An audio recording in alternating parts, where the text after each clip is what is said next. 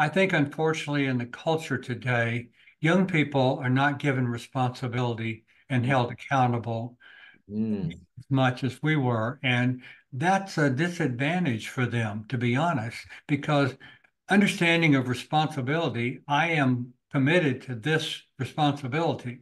I've got to do it, or I've got to go tell my boss or my parents, I can't get this done yep. by That's Friday. Or yeah.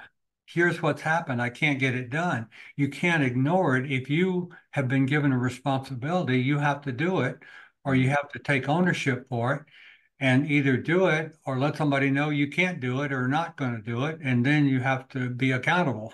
That's right. Yeah. Got to be an accountability Oh, without that, and we see this in, I mean, look at our culture today in Washington DC. There's not any accountability. So would it be responsible for, is it responsible for somebody to have a debt that they spending more and more than they can pay back?